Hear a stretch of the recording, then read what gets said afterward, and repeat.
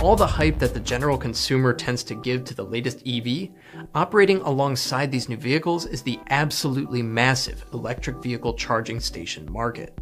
It's this market that is growing at the same pace as the actual EVs themselves. In fact, a recent report by a group called Meticulous Research shows that the electric vehicle charging stations market is expected to reach a value of $103.6 billion by 2028. And the growth of this market makes sense when you consider the government initiatives getting rolled out to drive the adoption of EVs and their associated infrastructure. As demand rises for electric vehicles, so do driver worries like range anxiety. And what's a good cure for range anxiety? The ability to charge on the go. Enter charging stations. On the surface, there's not much you need to know. I mean, it's a plug, right? Like plug meets socket and electricity flows. That's pretty much the basics of EV chargers, too. But dig a little deeper and you'll see there's a lot more to know. So consider this a kind of 101 course on charging stations.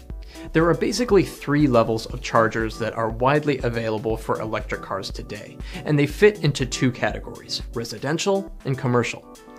If you own an EV and a home, you're probably familiar with at least one form of residential charging stations. In fact, the dealership probably gave you one or helped suggest where you could get one when you bought your car.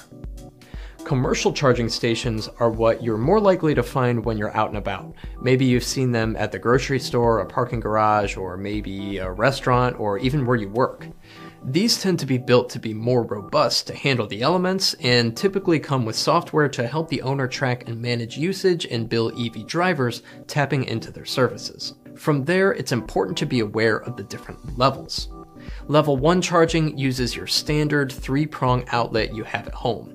Ever plug in a computer or a microwave? Then you're familiar with level 1. You typically only see this level of charging station used for residential charging because it just doesn't make much sense in a commercial sense. It takes far too long to charge the vehicle here. With a power level of something like 120 volts, you're looking at getting about 5 miles of range per hour, which can translate to as much as 20 hours or more on the charger if you want to fully charge something like a Nissan Leaf. Although, keep in mind that I'm just talking in general here, so every model of EV is different. Level 2 chargers might be the most common today if you're talking commercial charging, and you'll also find residential versions as well. At a power level of around 240 volts, we're now talking about the energy level of something closer to a home washing machine.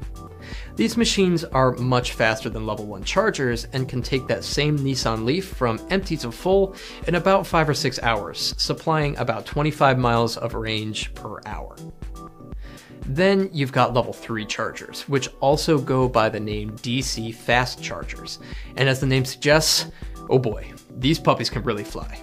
With a power level at as much as 500 volts, you can take that Nissan Leaf from zero to full in around 30 minutes, with a charging speed of 100 or more miles per hour.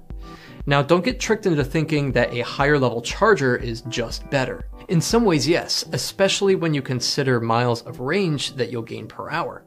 But a big benefit of level 1 charging over levels 2 or 3 is the lower electricity costs. Level 1 also just plugs into a standard 3 prong outlet, so there's a good chance residential customers will be able to avoid the infrastructure costs of installing a new plug type. My name's David Sickles, and this is the EV Impact Show. See you next time.